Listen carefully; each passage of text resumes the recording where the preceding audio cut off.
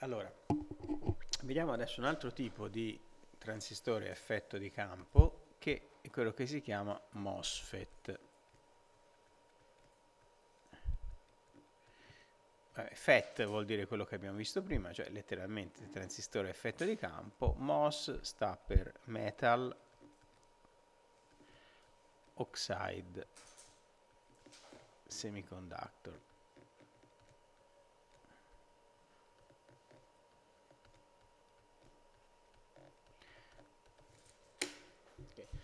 Questa struttura metallo-ossido semiconduttore, la struttura cosiddetta MOS, è quella che definisce il MOSFET. Tenete presente che ad oggi di gran lunga i MOSFET sono i transistori più diffusi. Quindi se eh, bah, insomma, direi che abbondantemente più del 95% di tutti i transistori in circolazione sono MOSFET. I microprocessori, quella roba là, insomma, tutto la, lavora con MOSFET. Il resto è limitata a casi, applicazioni abbastanza di nicchia, quindi dobbiamo dedicarci attenzione. Um, vediamo un po' in che cosa consiste questa struttura MOS, prima di tutto. Dunque, anche MOSFET è un dispositivo planare, quindi immaginiamo di guardare a sezione di una fetta di silicio, il MOSFET è realizzato in questo modo. C'è una regione con diffusione di tipo P, in particolare guardiamo un MOSFET a canale N.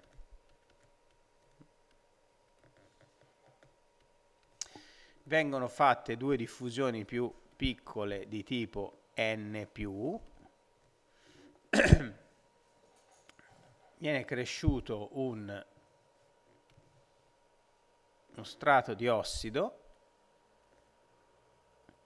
e sopra ancora viene deposto un metallo. In pratica abbiamo un contatto metallico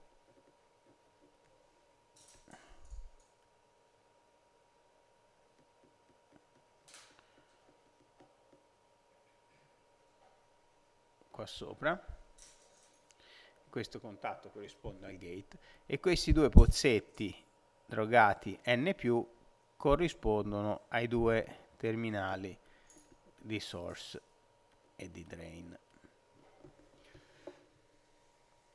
Questa è una geometria super semplificata di come è fatto un MOSFET in sezione. La struttura MOS è esattamente questa vedete, semiconduttore, questo è il semiconduttore, questo qui è l'ossido e questo qui è il metallo. È metallo, ossido, semiconduttore. Quindi questo, questo sandwich, no? metallo, ossido, semiconduttore, definisce il dispositivo MOSFET. L'ossido ha compito L'ossido è un materiale isolante e ha il compito di isolare elettricamente il contatto di gate dalla regione P di semiconduttore dove avviene la conduzione della corrente. C'è proprio una separazione elettrica. Questo è sempre necessario nei transistori a effetto di campo perché noi vogliamo che la tensione sul gate influenzi la corrente tra drain e source, ma senza causare una corrente di gate. Quindi, per esempio, questa cosa veniva garantita nel JFET perché si polarizzava inversamente la giunzione PN, quindi in pratica non si faceva passare corrente nel gate. Qui invece si garantisce isolando con un ossido il gate. Quindi quell'ossido è un materiale isolante che non fa passare corrente tra il gate e il resto del dispositivo.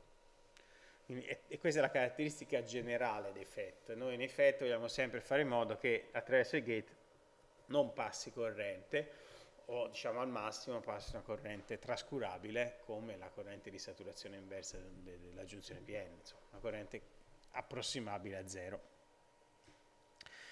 Allora, stavo dicendo, MOSFET sono i dispositivi su cui c'è stato più progresso negli ultimi anni, negli ultimi vent'anni e su cui continua a esserci eh, progresso molto forte e, e progresso legato a tanti aspetti diversi. Il primo aspetto è la riduzione delle dimensioni. Cioè, tu sono, sono 40 anni, di più, 50 anni che si mettono in atto ogni anno tecniche per ridurre le dimensioni dei MOSFET e siamo passati da MOSFET di lunghezza 10 micron nei primi circuiti integrati ad ora MOSFET di lunghezza di canale 22, micron, 22 nanometri, scusate. La lunghezza di canale è quella che c'è tra qua e qua, cioè la lunghezza di questo contatto di gate, la separazione tra source e drain. Questa qui si chiama lunghezza di gate o lunghezza di canale perché più o meno le due cose coincidono. E a fine 2012, per esempio, Intel, ora quest'anno anche Samsung ha fatto uscire il cosiddetto processo 22 nanometri, che vuol dire che questo è lungo 22 nanometri. L'anno prossimo, 2014, ecco nel 2010 è uscito il 32, tanto per capire come, come calano le dimensioni. Nel 2014 eh, il 14 nanometri mm, è atteso. Questi sono gli ultimi iCore 5 di Intel, cioè non è che sono, non sono cose esotiche, sono quelle cose che si comprano eh, normalmente.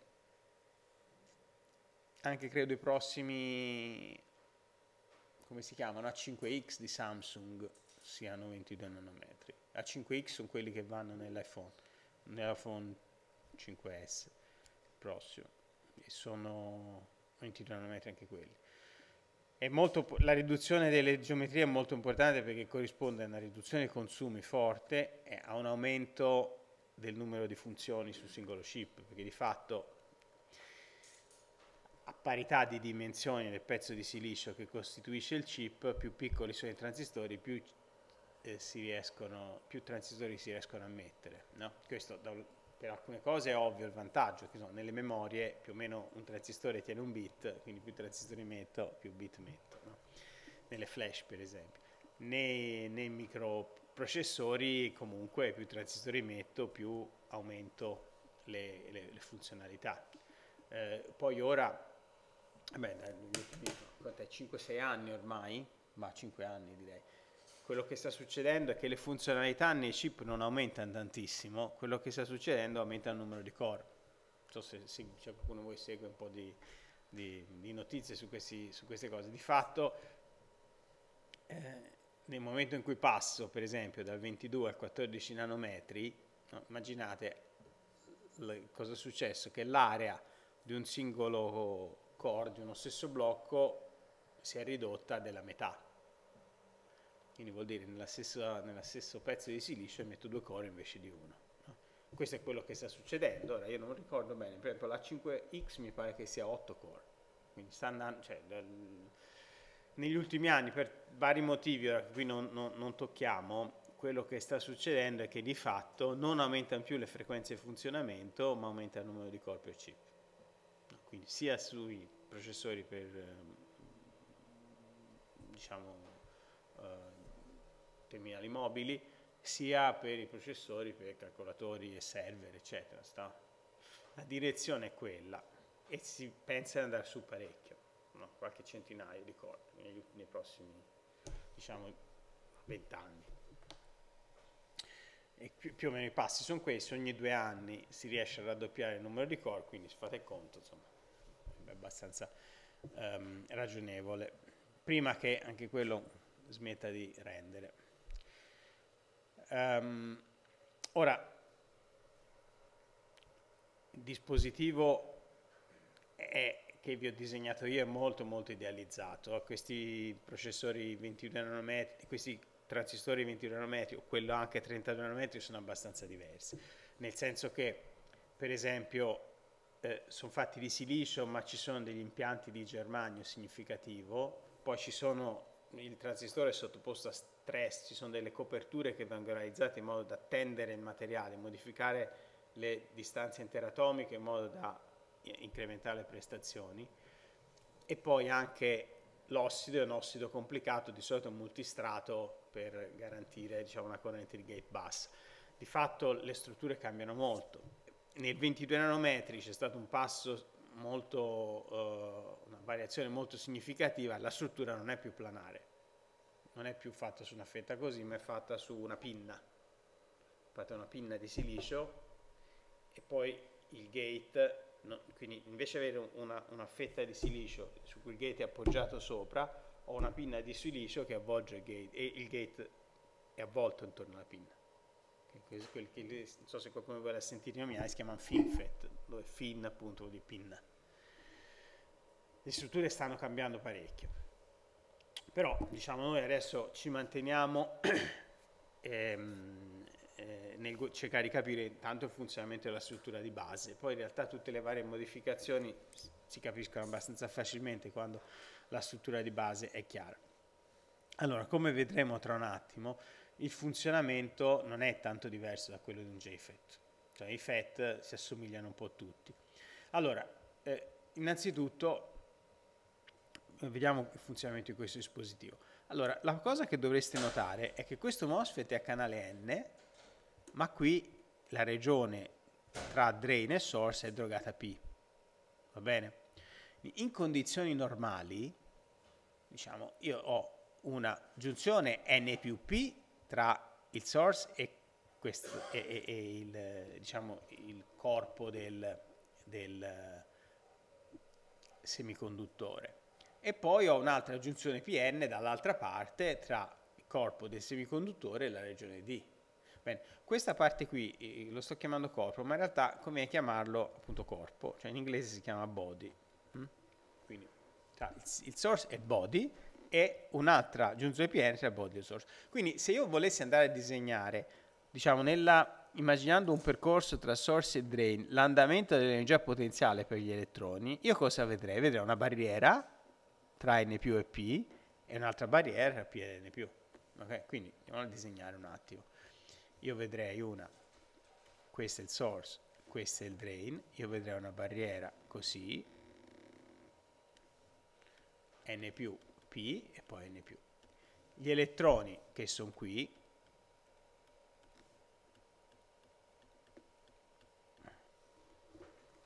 non passano, no, quindi in sostanza due giunzioni piene contrapposte, la corrente non passa. E in effetti nel dispositivo che vi ho disegnato, diciamo, se non faccio niente di particolare, corrente non passa tra drain source, perché c'è una barriera molto forte. Allora, come si fa a far passare la corrente? Vediamo prima la cosa dal punto di vista energetico. Eh?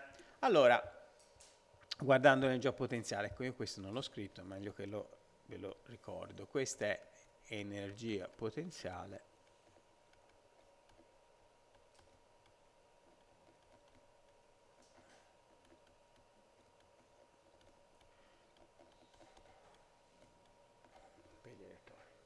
Quindi allora, barriera alta,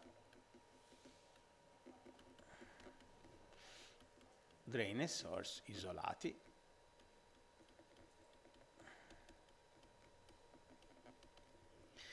Allora, come faccio? Beh, il modo per abbassare la barriera è questo. Io applico una tensione positiva sul gate.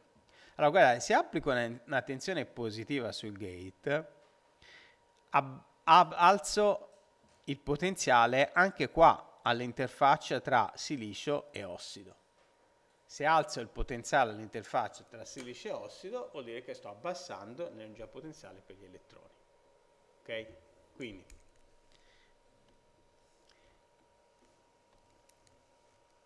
se applico una VGS maggiore di 0 ehm, riduco l'energia potenziale per gli elettroni all'interfaccia silicio cioè semi, semiconduttore per essere precisi semiconduttore ossido. Perché proprio lì la riduco? Beh, perché quel punto è il punto più vicino al, all'elettrodo. No? Chiaramente lo riduco un po' ovunque, ma a quel punto lo riduco molto di più. Allora, che cosa succede? Se riduco l'energia potenziale, ho che al, mi viene una cosa così. No? Anzi, può anche venire così, proprio la posso ridurre completamente la barriera, no? E quindi questo vuol dire che a un certo punto gli elettroni diffondono anche nella regione tipo P. Quindi la barriera si abbassa, gli elettroni, la barriera si abbassa, gli elettroni diffondono sotto l'ossido e quindi si forma il canale. Vedete cosa succede? A questo punto si è formato un canale di elettroni tra la zona S e la zona D. Poiché questo canale è di elettroni, io dico che è un canale N. Per questo il MOSFET lo chiamo di tipo N, anche se la regione è P, perché infatti, in effetti quello che è successo è si è formata all'interfaccia tra il semiconduttore e l'ossido uno strato di elettroni che hanno diffuso da source e drain. D'accordo? Quindi questo è quello che è successo, ho abbassato la barriera, sono arrivati gli elettroni. A questo punto il dispositivo conduce, no? Perché c'è una, continuità di elettroni mobili tra source e drain, si applicano le differenze potenziali tra source e drain, questi elettroni subito si spostano, quindi passa corrente. Okay? Questo è il meccanismo. Si dice anche che in questi casi si ha l'inversione del canale, perché originariamente il canale era di tipo P, quindi era un canale di lacune, mentre invece adesso all'interfaccia è diventato di tipo N, cioè è pieno di elettroni.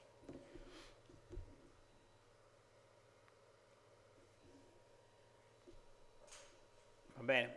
Quindi oh, questa cosa qui succede all'interfaccia. Perché succede all'interfaccia? Perché chiaramente è all'interfaccia che la barriera si abbassa di più, piuttosto che in profondità, ok? L'interfaccia è più vicina al gate, e poi perché nel, nell'ossido comunque gli elettroni non ci vanno, d'accordo? Quindi quello è il punto più vicino dove possono andare e lì vanno, ok?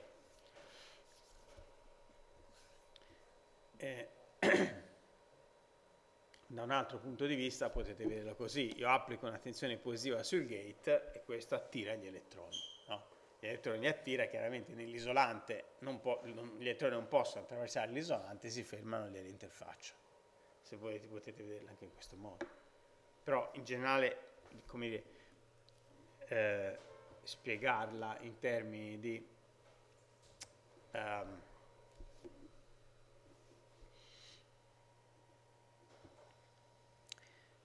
energia potenziale per gli elettroni è più efficace.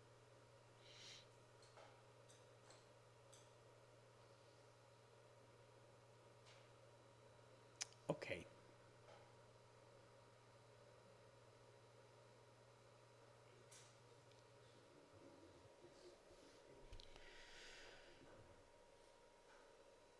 Va bene.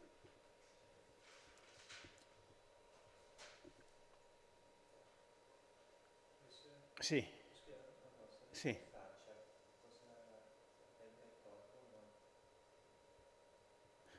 Non, non, ho capito la domanda. Sì, cioè, in, in, dunque, interfaccia vuol dire eh, letteralmente la superficie che separa due materiali diversi. No, quindi è eh, questo, questo, questo, piano, no? perché sotto c'è questa zona che ho chiamato S dove c'è il semiconduttore e questo invece è ossido. Quindi questo piano qui, che è rappresentato in nero, è l'interfaccia tra i due materiali. D'accordo? Ok. È una definizione letterale, nel senso in, di qualsiasi argomento parli. Interfaccia vuol dire superficie di separazione tra due cose diverse.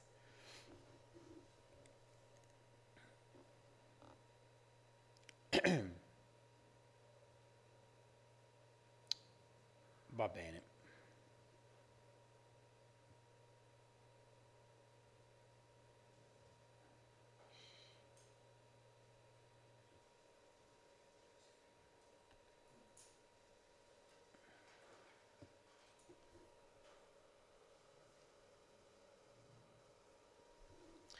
Allora, um, convenzionalmente si definisce una tensione che si chiama tensione di soglia. Ah, questa è una tensione che corrisponde a una definizione convenzionale, perché chiaramente questo effetto qua della formazione del canale avviene in modo graduale, no? man mano che la barriera si abbassa è più facile che gli elettroni arrivino dentro la zona P e, e a un certo punto saranno, la barriera è, molto, è, così bassa che gli elettroni saranno tutti arrivati nella zona P. Il processo è graduale all'aumentare di VGS, d'accordo? Per comodità spesso però conviene rappresentarlo modo... Eh, rappresentarlo con un, con un, comportamento a soglia, quindi come se avvenisse in modo brusco. Quindi per comodità si dice che fino a un certo valore di VGS in pratica ca la carica è trascurabile, come se non ci fosse. Okay? Eh, sopra un certo valore di VGS dico che il canale si è formato.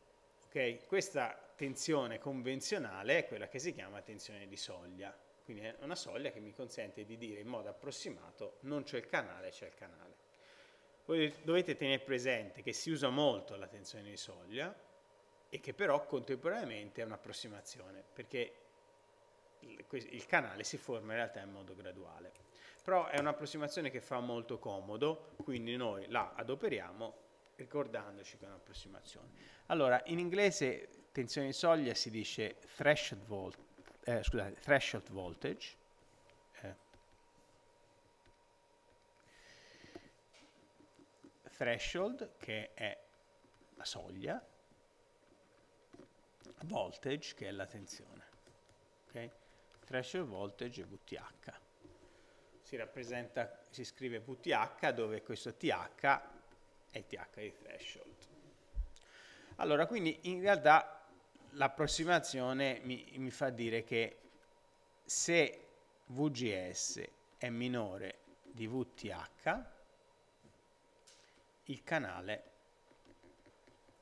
non si è formato se VGS è uguale a v, è maggiore o uguale di VTH, il canale si è formato. Ok? Allora, VTH è, questa qui è un'approssimazione, ok? Lo scrivo così ce lo ricordiamo. E poi VTH è una grandezza convenzionale, una quantità convenzionale.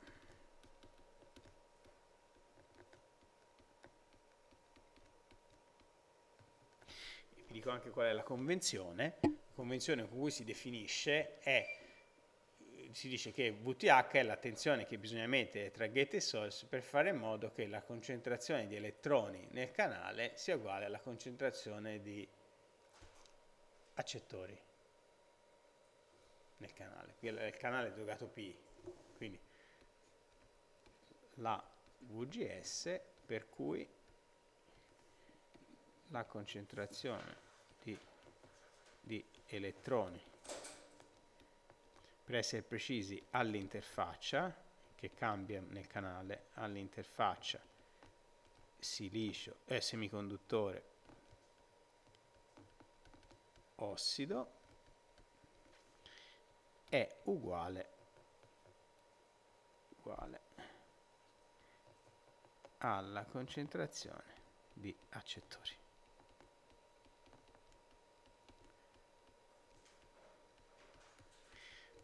Ok. Quindi la, VGS per cui la concentrazione di elettroni all'interfaccia semiconduttore ossido è uguale alla concentrazione di accettori nel canale. Ripeto, è una quantità effettivamente convenzionale, è scelta in modo ragionevole perché ha un senso, però noi non entriamo nel dettaglio né di come si calcola né di come si ottiene. Per noi è importante quella, quella cosa. Se VGS è minore VTH, il canale non si è formato. Se VGS è maggiore o uguale a VTH, il canale si è formato. Dunque, allora, vado avanti. Drain e source sono anche nel MOSFET praticamente intercambiabili. Ok?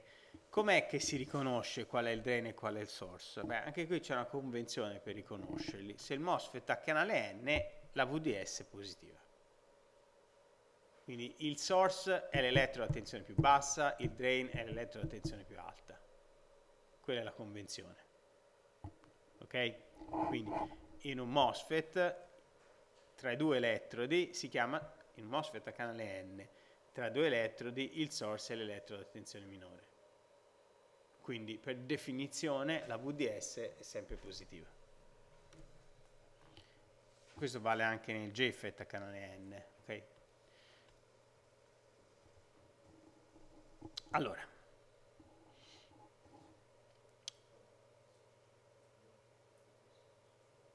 dunque, aspettate, questo lo scrivo qua, così rimane no? per convenzione.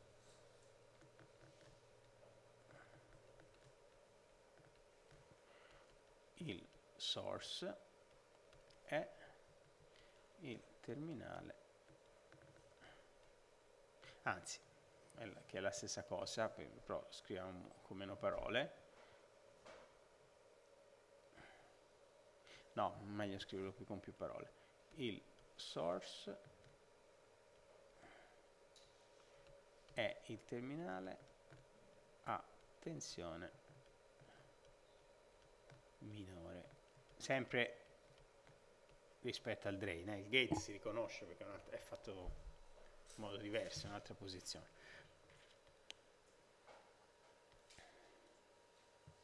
Ok.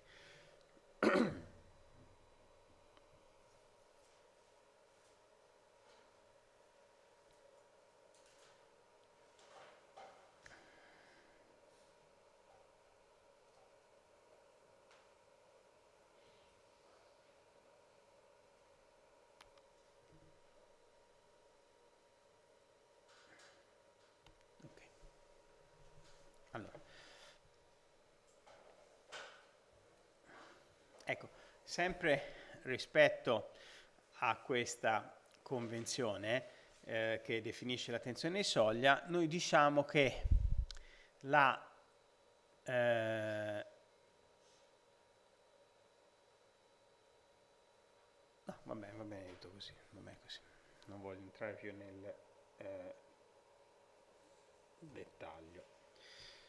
Allora, Facciamo lo stesso ragionamento che abbiamo fatto per il JFET per vedere le regioni di funzionamento. Allora, mettiamoci a considerare la superficie. Questo è il contatto di source, questo è il contatto di drain e poi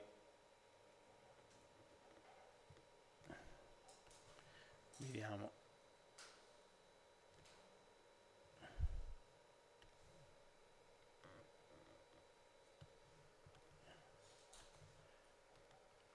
il gate. Okay. dunque allora eh, abbiamo detto se VGS è minore di, v, di, di VTH il canale non si è formato la corrente non passa siamo in interdizione ok? Quindi il problema non, non, non ci interessa più Adesso vediamo che succede se VGS è maggiore di VTH. Allora, mettiamo il source a massa, tensione nulla, e quindi applichiamo una tensione positiva VDS al drain. Quindi immaginiamo di essere in una situazione VGS maggiore di VTH, quindi il canale si è formato ok? E poi immaginiamo di avere, primo caso, VDS piccolo, va bene? Come abbiamo fatto prima. Allora, che cosa vuol dire? Se VDS è piccolo, praticamente VGS è circa uguale a VGD, no? E quindi il canale è all'incirca uniforme, uniformemente popolato. Ops io come faccio a, a descriverla, a disegnare la popolazione del canale? Faccio una, una regione, diciamo così. Mm? io non riesco a rappresentare in te- una terza dimensione quanti elettroni ci sono nel canale, no? quindi faccio uno strato un po' più spesso quando ce n'è un po' di più e uno strato un po' meno spesso quando ce n'è un po' di meno. Bene, quindi io qui ho una regione di questo tipo, questo si comporta come una resistenza, no? quindi applico una piccola VDS, passa una corrente ID nella direzione tra drain e source, ovviamente gli elettroni si spostano in un'altra direzione, ma tant'è. Tra parentesi notate il nome degli elettrodi, source vuol dire sorgente, drain vuol dire pozzo, perché in effetti gli elettroni escono dal source e vengono raccolti dal drain, quindi escono dalla sorgente e vengono raccolti nel pozzo. E quando aumento la VGS, cosa succede? Se aumento la VGS attiro più elettroni nel canale, quindi la conduttanza del canale aumenta e quindi a parità di VDS aumenta la corrente. Io mi devo sempre ricordare la corrente di deriva, come è fatta. La corrente com'è? È Q per A per N per mu per campo. A parità di VDS il, eh, questo, il campo è proporzionale a VDS, va bene? Quindi se VDS, a parità di VDS, quando aumento G aumento N, perché aumento il numero di, la concentrazione di elettroni che sono all'interfaccia e quindi mi aumenta la corrente, d'accordo? Quindi se io rappresento le caratteristiche d'uscita, io mi devo aspettare una cosa del genere. Questa è ID in funzione di VDS, allora, se vediamo a descrivere, ecco, ops, mamma mia, io non riesco a fare dritto. No. Non riesco a fare con la tavoletta le, le cose dritte in questa non riesco a farle. Mi devo far aiutare da questo aggeggio. Che ganzo però, eh. Eh, questa è la parte, la parte più bella. Quello. Allora, a parte gli scherzi, dunque vedete qui, quando siamo in interdizione, la corrente nulla, no? Quindi praticamente in questa zona vuol dire che sono a VGS più piccolo di VTH e siamo in interdizione. La corrente nulla, qualunque sia VDS, no? Non passa niente. Ora, e vabbè, quindi quello l'abbiamo la zona che non ci interessa. Vediamo ora il canale che si è formato. Per VDS piccoli, io che cosa ho? Quando VGS è un pochino più grande di VTH, quindi il canale c'è, ma non è tanto popolato, la resistenza del canale non è piccola, quindi quest'N è piccolo, la I in funzione del campo cresce poco, quindi ho un andamento per esempio di questo tipo.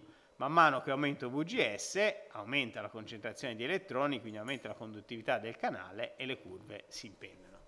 E aumenta questa pendenza questa pendenza. La pendenza è eh, ovviamente una conduttanza, è la conduttanza del canale. Quindi queste curve qui salgono all'aumentare di VGS.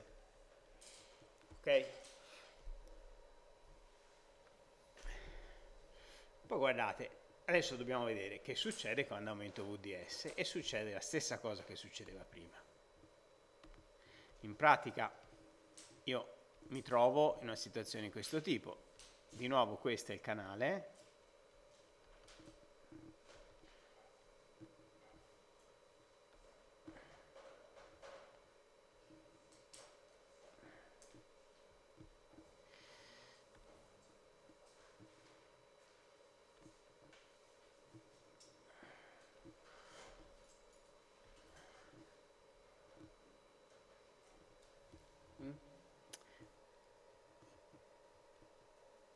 il source.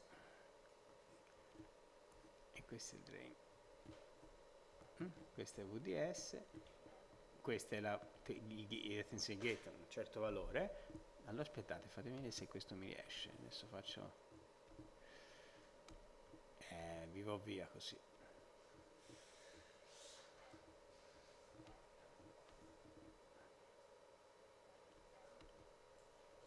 Non ce n'è. Allora Dunque, immaginiamo così di aumentare la VDS, ok? Che succede? A questo punto, se aumento la VDS, avrò che VGD è più piccolo di VGS, non posso più dire che sono uguali. Eh, io so che, per essere precisi, io so che VGD è uguale a VGS meno VDS. Se VDS cresce, VGD è più piccolo di VGS. Ok? Prima avevo detto praticamente erano uguali, ma ora eh, non posso più trascurarlo. Cosa succede quindi? Che tra gate e drain la tensione è più bassa e quindi tra gate e drain di carica ce n'è meno che tra gate e source, giusto? Perché comunque, come dire, la barriera vicino al drain è un po' più grande. Allora, cosa succede quindi? Succede che il canale è all'aumentare VDS sempre più rastremato. D'accordo? La stessa cosa che avevamo, che avevamo visto per i JFET, in pratica quando aumenta è così, quindi, quindi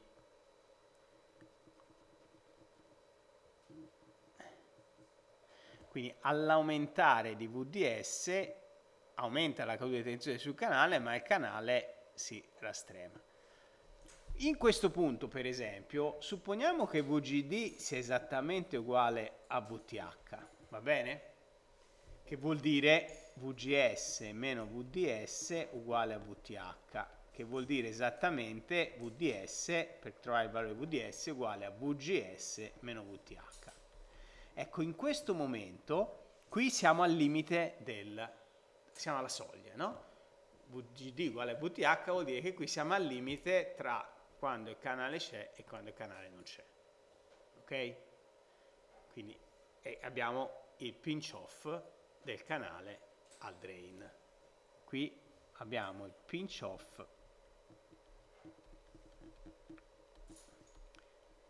al drain.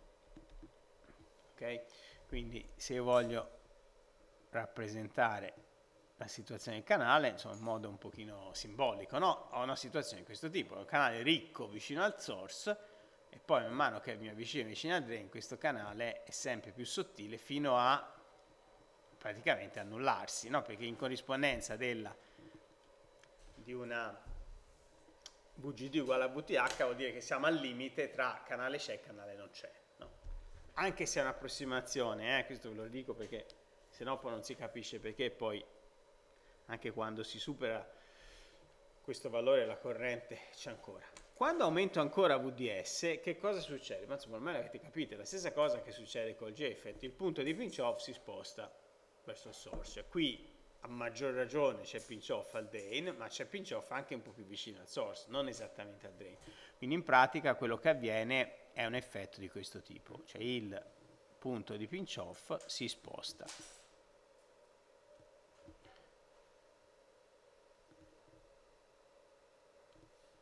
Mm?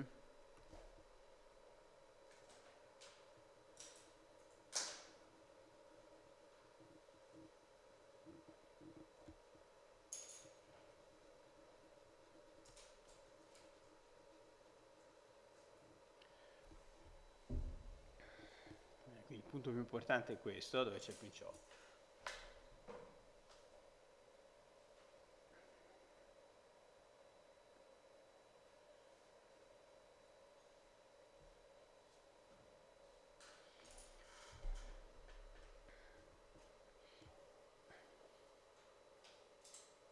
se torniamo un attimo indietro, vi, vi, posso anticipare già, tanto ormai avete capito cosa succede. Quando il canale comincia a rastremarsi, la corrente sale non più linearmente con la tensione, ma un po' di meno perché il canale si stringe. Quando si arriva al pinch off, invece, praticamente la corrente non cresce più. Di nuovo vale il discorso che abbiamo fatto prima, al primo ordine non cresce più perché, oh, no, aiuto, al primo ordine non cresce più perché c'è pinch off, in realtà siccome x si sposta verso il source c'è un effetto di modulazione della lunghezza di gate per cui la zona del canale in pratica leggermente si accorcia e quindi c'è un effetto di leggera salita.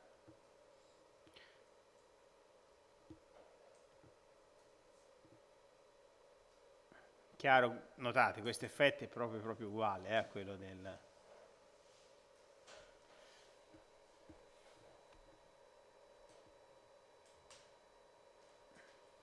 Allora, ovviamente i nomi sono gli stessi di prima, no? I, i FET si trattano tutti nello stesso modo, quindi questa regione qui si chiama regione omica e si chiama omica sia quando è esattamente lineare il comportamento sia quando non è proprio lineare e questa regione qui si chiama regione di saturazione. E la separazione tra la regione omica e la regione di saturazione è data dal fatto che si abbia il pinch off a drain. No?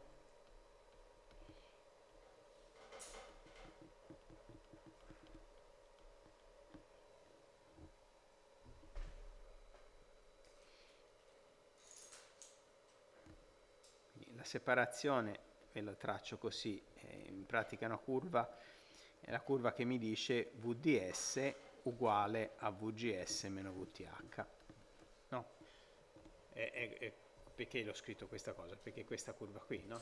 VDS uguale a VGS meno VTH, la condizione pinch off al drain, è per VDS più piccoli del pinch off al drain non ho pinch off e quindi sono regione omica, per VDS più grandi della condizione pinch off al drain ho pinch off e quindi sono in saturazione. D'accordo? Quindi questo è il discrimine tra le due cose. Chiaramente è una curva che sale perché VGS sale in questa direzione, quindi se aumenta VGS spostandosi verso l'alto aumenta anche VDS, per cui ci si sposta in là.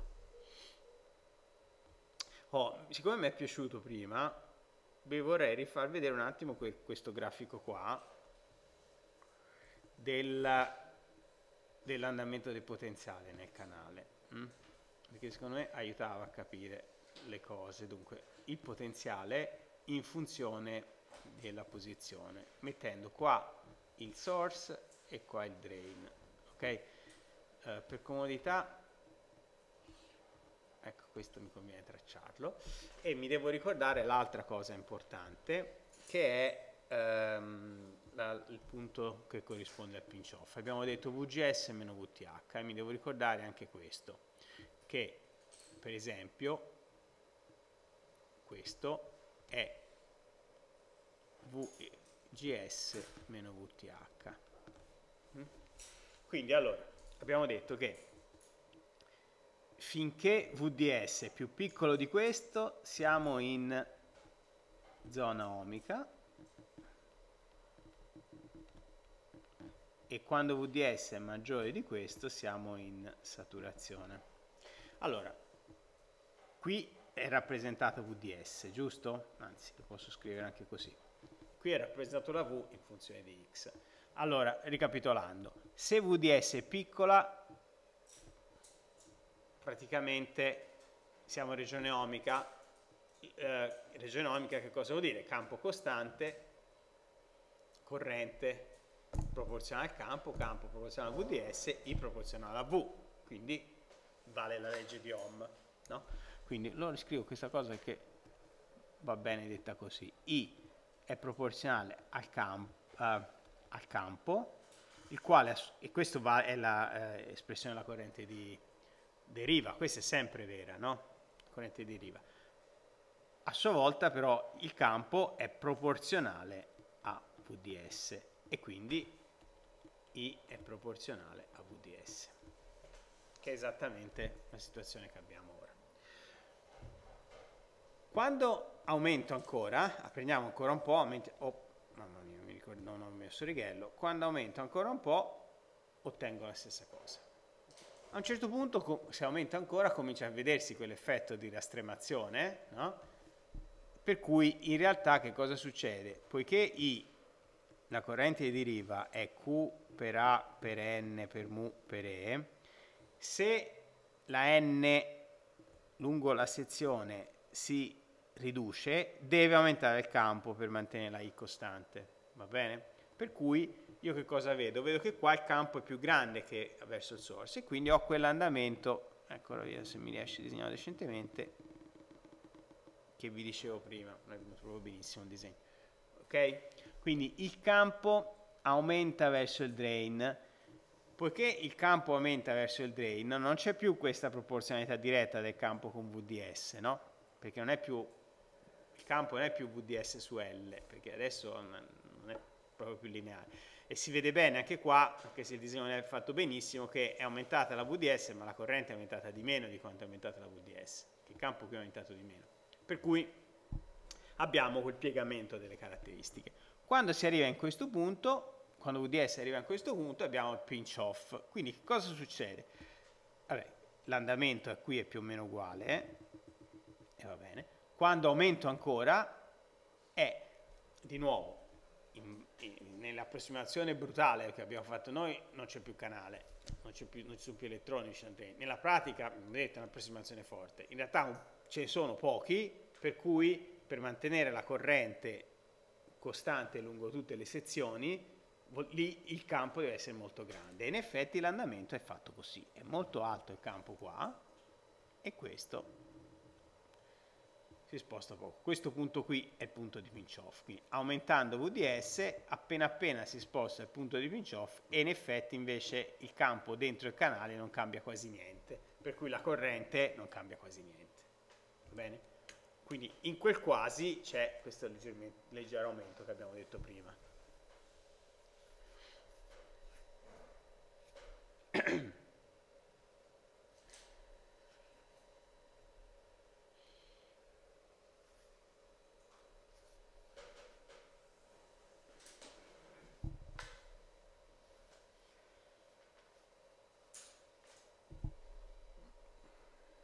Tenete presente che nel MOSFET la corrente è essenzialmente una corrente di deriva, eh? cioè, è, la, è, la, parte che conta. Perché? Perché di fatto ehm, diciamo quando c'è un solo tipo di portatori. Insomma, le zone sono n più n un po' più debole dentro il canale, n di nuovo, quindi non è come quando una giunzione PN dove passo da portatori da maggioritari a minoritari in due regioni adiacenti. In questo caso in effetti quel, quel, quel comportamento non c'è. Allora, quindi detto questo, possiamo andare a scrivere le regioni di funzionamento del MOSFET.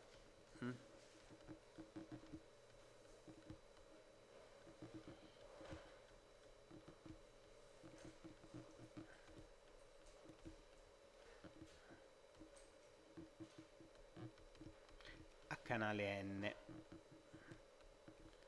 Il simbolo non ve l'ho fatto vedere, eh? Aspettate. Vabbè, faccio... Ma facciamolo qui il simbolo.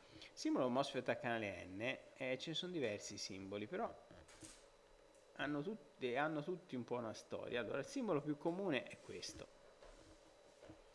dove, anzi, aspettate, lo faccio meglio ancora, Ecco, questa è una cosa importante, è questo qua.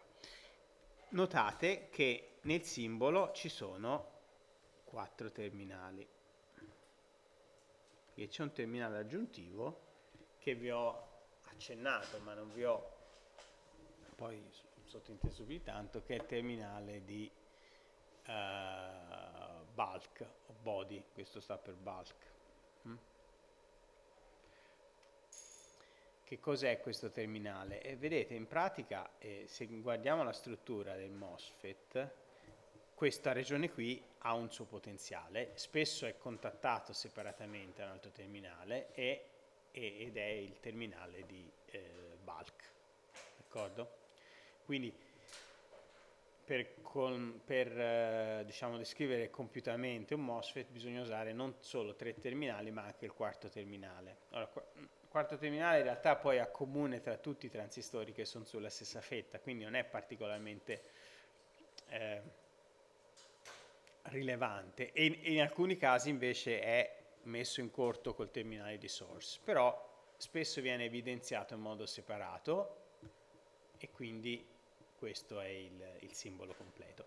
Questo, um, questa freccia rappresenta la um, giunzione bulk canale. Il bulk è di tipo P, il canale diventa di tipo N, quindi una giunzione PN orientata in questa direzione. Bene. Poi c'è un simbolo un pochino più semplificato che è invece questo, che questo è molto usato, in cui non si disegna il terminale bulk,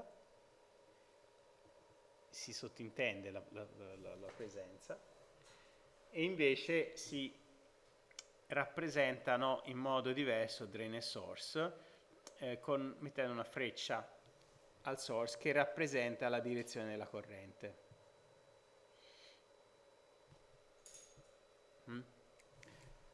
Devo dire, a me sinceramente piace più il simbolo sopra perché dà più ragione del fatto che il dispositivo è simmetrico per drain e source, cioè drain e source sono uguali e attualmente sono uguali, insomma, c'è stato un periodo in cui non erano proprio uguali, però insomma in questo periodo si fanno uguali drain e source e, e è soltanto la tensione che applico che mi dice qual è il drain e qual è il source. Vabbè, comunque, comunque sono tutti e due simboli che si usano eh, piuttosto comunemente ed è importante conoscerli tutti e due. Allora, le regioni di funzionamento abbiamo interdizione,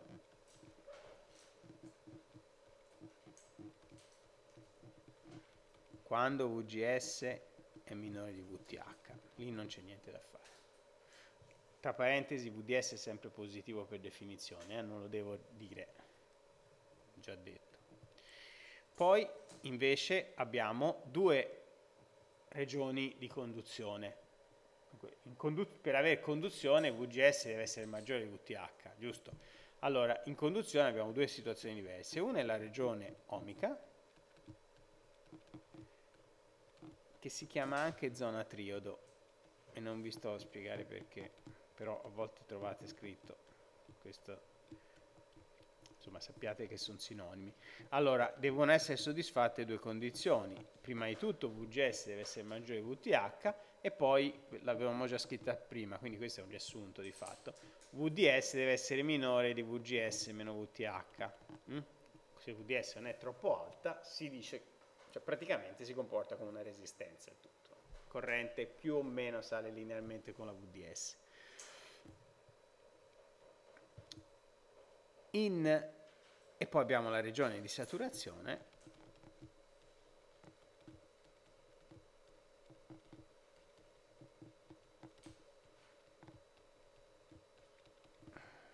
in cui abbiamo VGS maggiore VTH, questo garantisce il canale, e poi la VDS invece è superiore a VGS meno VTH. Okay? L'uguale va, potete mettere dove vi pare, l'uguale siamo alla frontiera tra le due regioni. È in regione di saturazione che ovviamente il eh, transistore si comporta come un generatore di corrente controllato da tensione, quindi noi quella regione di funzionamento vogliamo per usarlo come amplificatore, no? Abbiamo detto deve, deve avere tutte le caratteristiche di uscita quasi parallele, eh, notate no? Questa zona qui è quella che assomiglia al generatore di corrente controllato da tensione, no? dove le caratteristiche sono orizzontali. Quindi noi lì vogliamo cercare di utilizzarlo. È per quello che il transistore è interessante. La trasmissione di funzionamento non è che lo rendono così interessante.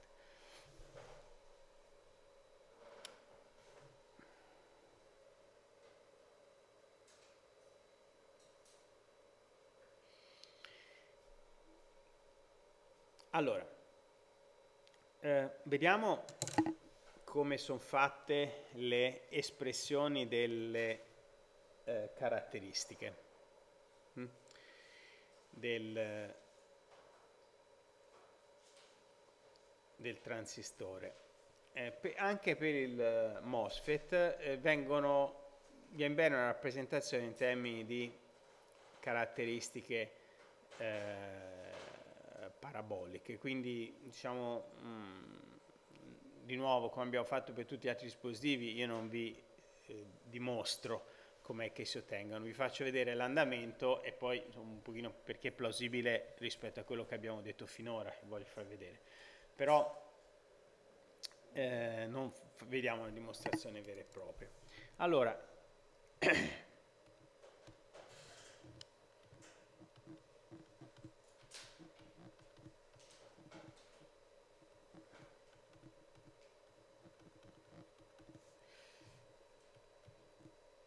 Vediamo in saturazione. Vediamo prima in saturazione.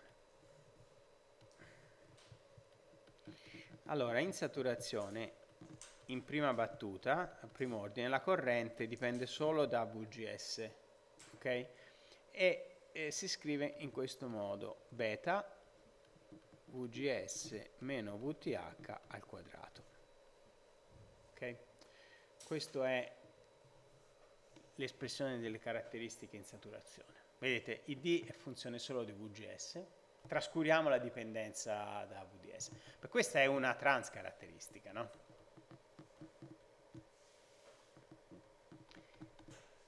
Se la voglio rappresentare così. Quindi, da un certo punto di vista, se io metto in saturazione,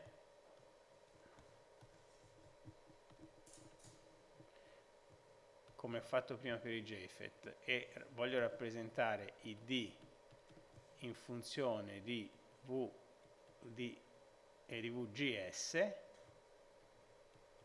ho una cosa del genere, ho un discrimine qua in corrispondenza di VTH, se VGS è maggiore di VTH vale questa relazione parabolica, quindi parabola col vertice in, VG, in VTH, quindi qui sono in saturazione, è ovvio però se VGS di VTH, non prendo tutta la parabola, prendo solo il ramo, no? se VGS di VTH è D uguale a 0, quindi qui sono in, in interdizione. Quindi queste qui sono le transcaratteristiche. Chiaramente anche qui dovrei usare scusate, VDS come parametro, però praticamente in, se in prima approssimazione dico che non dipendono da VDS, eh, praticamente posso trascurare questo effetto. D'accordo? Se voglio evidenziare invece la dipendenza da VDS, allora uso un'approssimazione tipo quella che vi ho fatto vedere prima per i JFET, cioè, vedete, è proprio una correzione, non è mica niente di più. Io metto un termine 1 più lambda VDS a moltiplicare. Così, vedete, quello che succede. Cosa fa questo termine? Lambda è piccino. Quando aumenta VDS, fa aumentare la corrente a parità di VGS. Ok? Questo lambda è, tutto, è, è responsabile di tutto. No? Se lambda fosse 0 l'effetto non si avrebbe. Questo lambda si chiama effetto di, anzi si chiama fattore di modulazione della lunghezza di canale o anche fattore di modulazione del canale.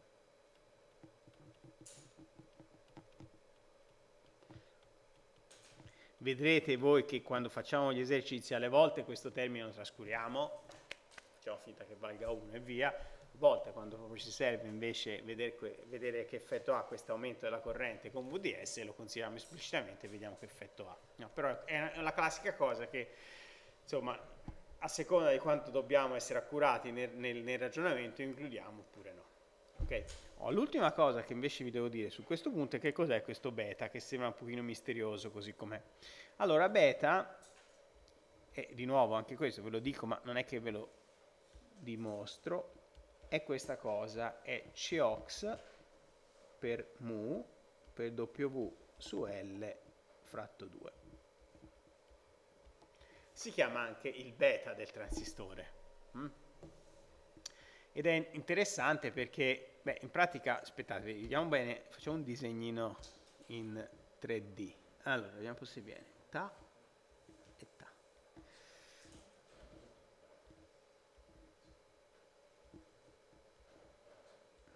Allora, se io voglio, faccio la sezione, voglio farvi vedere la sezione e farvi vedere anche il dispositivo dall'alto, no? Quindi questa è N+, questa è N+, questa è P. Questa è la classica sezione del MOSFET che abbiamo visto sopra, no?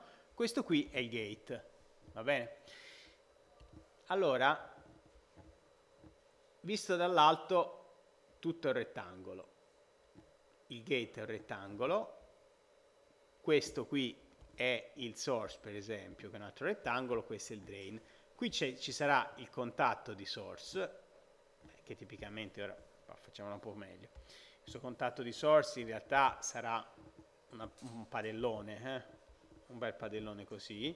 Qui ci sarà il contatto di drain. Ora a me non interessa tanto questo. Quello che mi, che mi interessa far vedere è che eh, il gate avrà una certa lunghezza che abbiamo definita anche prima, che è questa L qua. No, questa L è la lunghezza di gate, okay? la distanza tra il source e il drain. E la W è la larghezza di gate. Okay? Quindi questa L e quella W sono larghezza e lunghezza del gate. Mu è la mobilità che abbiamo sempre eh, visto. Quel COX invece è la capacità dell'ossido la capacità del, della struttura MOS, no?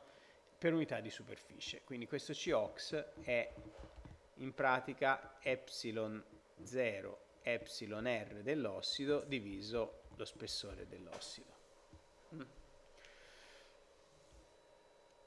Eh, questa è una capacità a facce piane parallele fa, eh, a questa espressione, no? la epsilon diviso la distanza tra le due facce, che l'ossido, lo spessore dell'ossido, in questo caso per la superficie. Questo lo faccio per una superficie unitaria e viene così. Quindi questo Tox è lo spessore dell'ossido, quindi è la distanza tra le due facce della capacità, perché la faccia superiore è il contatto di gate, la faccia inferiore è il canale. Quindi questa è la capacità dell'ossido. Va bene, ma interessa semplicemente farvi vedere questa cosa, questo beta dipende da alcuni parametri del materiale che sono COX e MU e poi W ed L che sono le geometrie del dispositivo. Quando si progetta un circuito, un circuito integrato, in realtà il progettista ha sotto controllo W ed L, può scegliere W ed L di ciascun transistore, ma il resto no, il resto è dato. No? la mobilità è quella per quel processo, lo spessore dell'ossido è quello, non si cambia, quindi su quelle COX e MU sono delle eh, sono delle specifiche del processo. Uno che fa la progettazione di circuito, quelle cose non le tocca, diventano delle, dei vincoli, no? WVL invece sono i parametri che si possono variare. Quindi variando WVL si riesce a variare abbondantemente il, ehm, il comportamento del transistore. Oh, per completare, vediamo in zona omica, sempre le caratteristiche.